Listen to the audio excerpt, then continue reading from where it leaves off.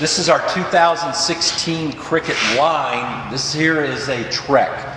We have three models in the Cricket line for 2016. We have the Trek, which is our top of the line. We have our Camp, where we removed some of the accessories. And then we have our Gear, which is this one over here, which is our toy hauler. Uh, so we have the Gear, the Camp, and the Trek. We're going to go over the Trek right now. As I step in, this unit here, you've got the ability to sit here. You can add a child's bunk here that I can show you in a, another one of the units. You can actually have a second child's bunk. You've got your sink here. You've got your window system here. You've got five opening windows on the canvas. This one here obviously is closed. What we've done unique to the 2016 the kitchen assembly here with the release of four wing nuts. You can pull the whole kitchen assembly out and get to the working components, your water pump and your water heater. This has a 12 volt German made two and a half gallon hot water tank. We have an outdoor shower. This is our brains. This is where all the electricity happens. Convert, invert, 12 volt to 110, 110, so on and so forth. This is our light bar. We have our pump, our heater. We also have an LED work light up above. We have a red step light down here for nighttime.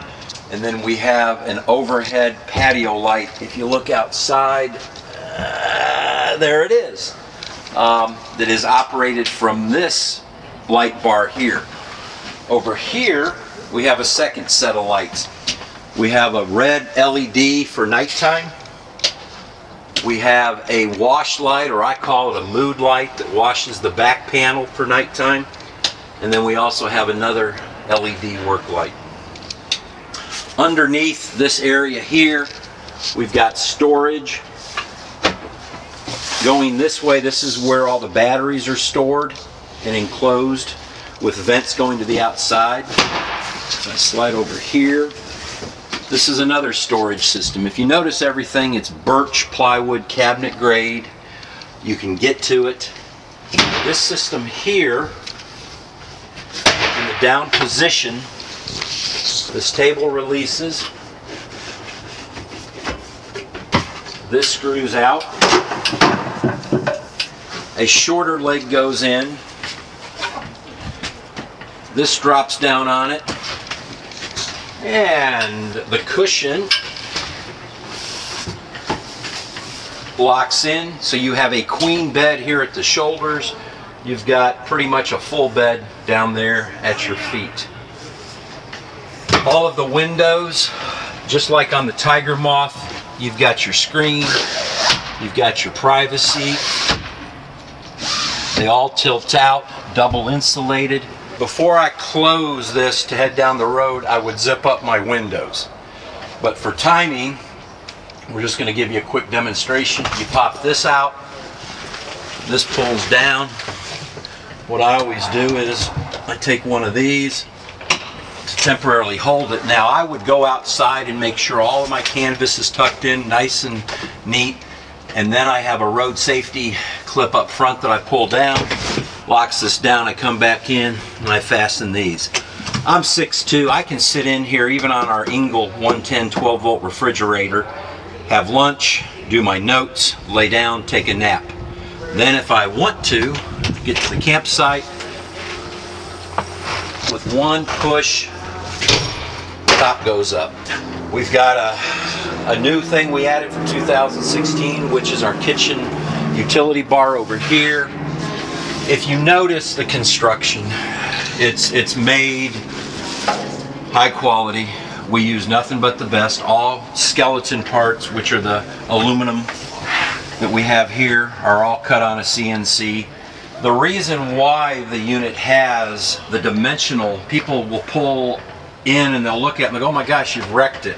No, the reason why it has the form that it has is aerodynamics and structural. By just taking the, the, the component parts, which are these composite panels, like I showed you in the Tiger Moth video, and putting that bend, you end up strengthening these units by, by just that bend instead of it just being a straight piece. The other thing is spatialness. Standing in here, I'm 6'2", 220 plus pounds, and by just those little blowouts, it gives me all sorts of spatial room. There's all sorts of contact points for carabiners. Um, it, it's built like it needs to be built. Stepping to the outside, uh, this can all have the Thule rack system like we show here with the mountain bike. We can add the kayaks, we can add the Yakima box, we can add any Thule or Yakima component known to man. So the back is down. Uh, on a side note, the Thule or the Suga canopy over here can be attached to this right here. We do have a canopy that attaches to these three points here that'll stretch out to here. Now that's not a, a freestanding, you do have to have that staked out. When this is closed, you can hear the quality of it. I mean, it closes. Our bumpers back here will support like I said, I'm 200 plus. I can get up on here and access everything I need to access. Moving around the trailer, we call this our mechanical wall. We've got a gravity fill that'll take it into a 12 gallon potable water with a 12 gallon holding tank. We've got the connection for the ZAMP solar system that plugs in. This unit here has our 110 5000 uh, BTU air conditioner. That is an option. Moving around to the front of the trailer, we have our 30 amp service. So when we're at a power point, we can plug the 30 amp service in, charge our batteries, run our LEDs through the converter. What we've got here is, is we've got a pressure water fill when we're at a city water situation.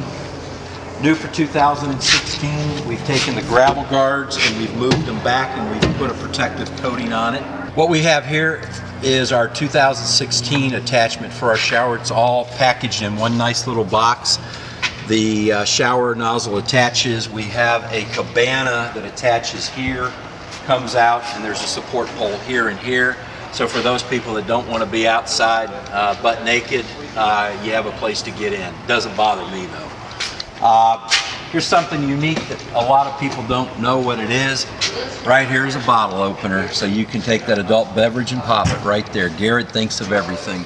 When the roof comes down, this is new for 2016, we've got a nylon um, protection piece, so when it comes down, it fits right into here, and we are rock solid.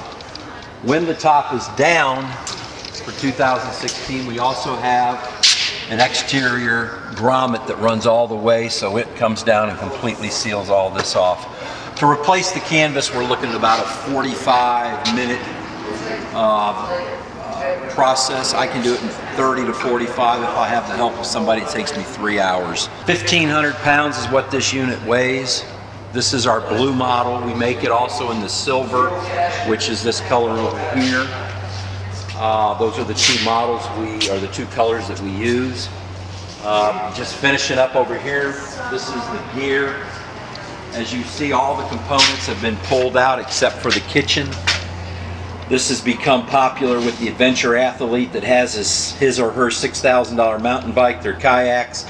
They have a thermarest. They just want to basically carry all their gear and then have a base camp. This would retail, MSRP on this model here would be around 27 to 28,000.